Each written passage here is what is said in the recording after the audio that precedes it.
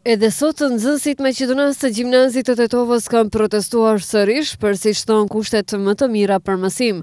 Fillimisht ata janë tubuar në sheshin Iliria ku më pas kanë marshuar drejt komunës së Tetovës, ku edhe kanë vazhduar protestën e tyre.